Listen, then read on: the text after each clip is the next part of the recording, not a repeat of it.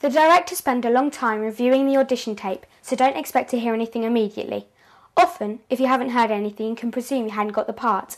Channel 7, wherever possible, will try and contact everyone so they know where they stand.